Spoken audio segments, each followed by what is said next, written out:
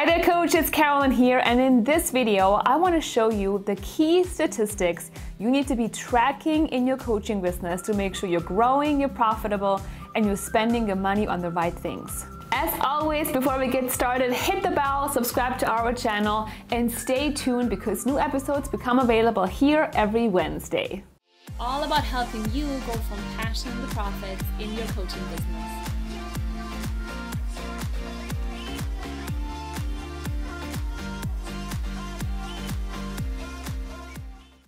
Hi there coaches, Carolin here and today I want to talk to you all about the most important statistics in your coaching business. Do you ever wonder which stats and numbers you should pay attention to to make sure your business is healthy, growing and profitable? The bottom line is that every successful business owner sets and measures certain KPIs or key performance indicators in their business and your coaching business is no different. In our business, we have eight very specific stats or KPIs that we set, track, and measure to make sure our business is healthy, profitable, and growing, and we're always moving towards our goals. And today I want to share those with you. The first KPI you should be measuring is number of sales. In your coaching business, of course, it's all about how many clients you're working with and therefore how much money you're generating.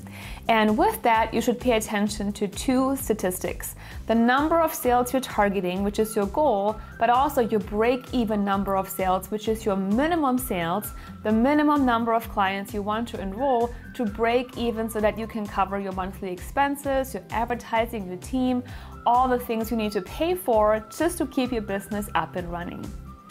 So what you want to do is figure out your critical number, your bottom line break-even number of clients and or revenue that you want to target every single month and at the same time set a goal an ideal income goal right for your sales and how many clients you want to work with as well so that your team and you have a goal to work towards every month the second key statistic is actually more of a report, and that is your profit and loss statement. Looking at your profit and loss statement is very insightful because it will tell you where your money is actually going. With that, you can make decisions on cutting back or maybe spending more in certain areas. You will also know where your money is going, what are you spending most of your dollars on, and how much are you bringing in. And of course, you want to make sure you're profitable every month. Your third key statistic is your cash and how much cash is actually sitting in your bank. For you to figure out how much cash you have in your bank, of course you can look at your bank account, but you also want to look at your statement of cash flow from your financial software to know where that cash is coming from and where most of your cash is actually going as well. Profit does not always equal cash in the bank. I have known business owners who looked profitable on their P&L, but they actually couldn't pay their teams, they couldn't pay their bills because they did not have the actual cash in their account. How is that possible? Well, for example, let's say you're selling a $10,000 package. Your P&L might show income of $10,000. But if you're selling the program over, let's say, 10 months and you're only receiving $1,000 a month, you may actually not have the entire $10,000 until 10 months from now. So you have a shortage of cash right now and then, which may cause you trouble in your business. The fourth key statistic you need to know is your accounts receivables. That's how much money you expect to come into your business in your bank account over the next couple of months. Again, let's assume that you're selling payment plans and you have a $10,000 program that sells over 10 months and you receive $1,000 every single month. You might be able to then forecast how much money you're receiving in month one, in month two, in month three, and so forth, which allows you to plan and predict what's happening in your business. So let's say you have a good month this month and you have sold a lot of those longer term payment plans but then next month you're not doing so well. Well, you can still stay afloat in your business and you can still keep going if you have enough money coming in over time. And that's why it's so important for you to know what your future income, your future receivables actually look like. Your fifth key statistic to measure in your business is number of sales calls booked.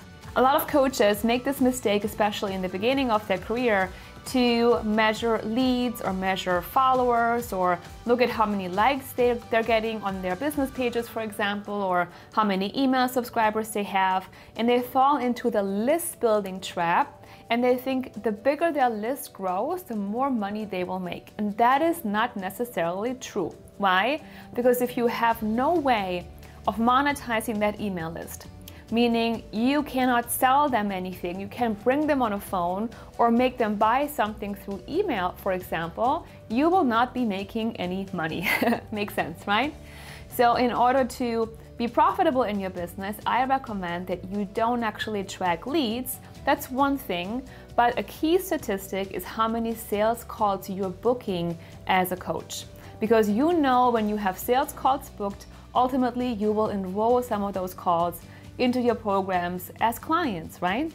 That's why it's so important for you to know how many sales calls you want to book and also how many calls you are booking every single week or every single month in order for you to know what's happening in your business, how healthy your marketing is, and what you can reasonably predict for your income as well.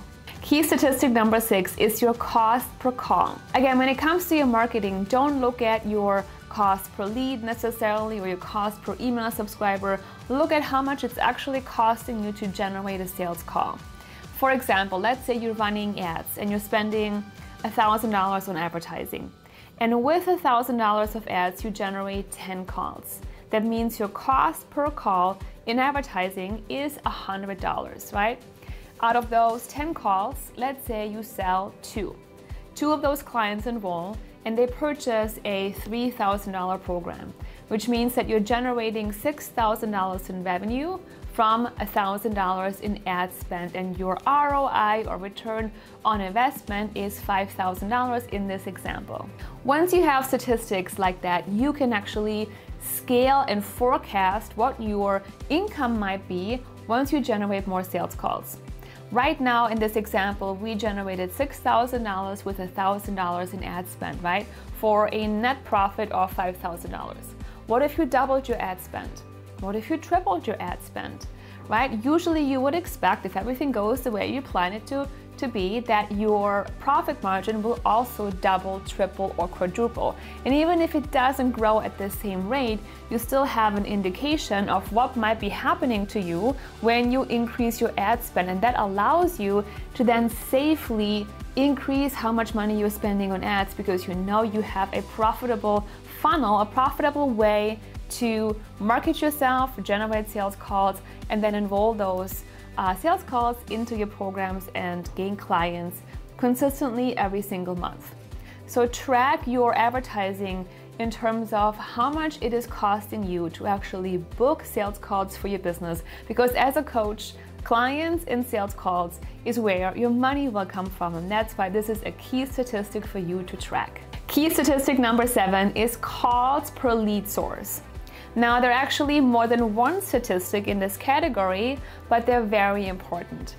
What we pay attention to in our business is where our leads are coming from. We might have leads coming in from YouTube, from Google, from Yahoo, from Facebook, from Instagram, from affiliates, and people who refer clients to us as well. There is a variety of different sources of leads, and they all vary in cost and they all vary in quality and how those sales calls might actually unfold. So it's really important for you to measure where your leads are coming from so that you know your best sources of leads for lead quality and you also know what it's costing you to generate certain types of leads. Key statistic number eight is your cost per client. When you think about enrolling clients, there is a cost associated with that, right? You might be spending money on advertisement, you might be spending money on coaches that work for you, maybe you even have a sales team. All of those things need to be factored into your cost per client so that you set the appropriate price. Pricing is not an arbitrary thing. You want to be really sure that you're setting a price that allows you to be profitable, right? That allows you to cover your team expenses, your overhead expenses, your advertising, and everything else. And you're actually left with a nice profit that allows you to reinvest in your business, to live an amazing lifestyle, and do all the things you want to do.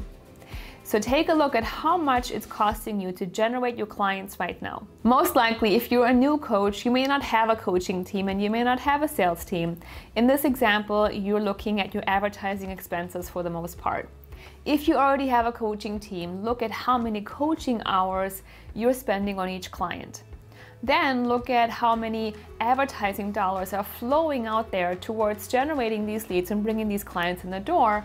And also take a look at your sales team and the sales team commission you might be paying out for every sale your sales team makes. Now I want to give you some bonus information that includes three very simple tools I am using to run my coaching business. Tool number one is QuickBooks. I've mentioned QuickBooks throughout the entire episode, and I really love the tool for its simplicity and the online access it provides. It doesn't matter how new you are, you should be using QuickBooks or something similar right from the get go. Enter all of your clients individually as customers. Enter all of your vendors individually as, as expenses, as vendors, right? And then make sure you keep your QuickBooks updated every single month with all your income and all of your expenses so that at any point in time, if you want to know your statement of cash flow, if you want to know what your profitability looks like, you can go online, you can log in, and you can see the financial health of your company all in one place. The second tool I'm using is Google Sheets and Zapier. Google Sheets and Zapier literally can do almost anything in your company. You could link your CRM, your Ontraport or your Aweber or whatever you're using to manage your emails and your client, your client list, and you can connect that with a Google Sheet and assemble a table, assemble a report that shows you your lead sources that shows you where your clients are actually coming from, that shows you what those clients are costing you. You can make custom reports in Google Sheets or have your VA or tech genius on your team take care of that. And, and with that, you always have optics, you have visuals inside of your company, and you know what's actually happening. As you grow, it's really important to know what works for you, especially when it comes to marketing, and what doesn't work for you, and that's where those custom reports come in really handy. The third tool we're using in our business is a very simple Excel budget. Now, we're not using this budget to track expenses and income. That's one thing. We're actually using this for forecasting and planning purposes. What I like to do is have my budget available to me at all times and actually make decisions with my budget. So let's say I want to advertise more. Or let's say I'm trying to maybe hire someone for my team. I'm thinking about maybe hosting an event or a retreat or something of that nature. With my budget, I can model my future, right? I can make assumptions on my income and I can also make assumptions on my expenses. And with that, I can make a much more informed decision based on what's actually happening in my business and based on facts and figures and numbers, right? And, and be really informed when I'm trying to make key decisions for my business.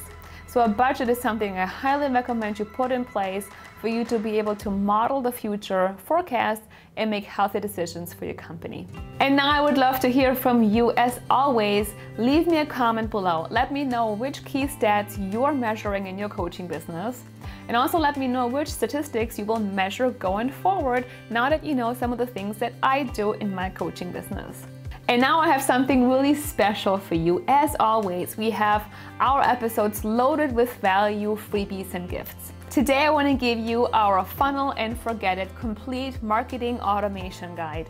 And in this guide, I'm going to walk you through step by step what you need to do to set up a marketing funnel, a sales funnel for your coaching business.